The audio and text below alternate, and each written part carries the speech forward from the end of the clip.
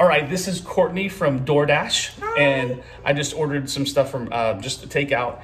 And as Cortney was re- ready to leave, I just had these two impressions: something wrong with my lower back and, and my knee. Yep. And so I just happened to ask you, have you been having issues? And what did you say? And I said yes And how long have you been having those issues? for a really long time, like 10 plus years. Ten plus years, and you got into like a, a car accident. Car accident, and then uh, that was my lower back, and then my knee, just me and my ex boyfriend wrestling around. I went one way, he went the other. Knee problems ever since. And ask you like, a scale from zero to, ten. You said there's a five, right? Pain level. Um, yeah, well, it, we started out probably about a five or 6 you Uh-huh. know, and then we went down to about a three. yep. Yep. And then And- I I just spoke to the pain again. Yep. And then all the pain just Went away. it's gone. I, I'm not, yeah, no pain at all right now. And you said you felt like a- like what a warmth come like over a, you like a heating pad. Yep, A like heating a pad. warm heating pad. on your lower back and your right knee. Yep.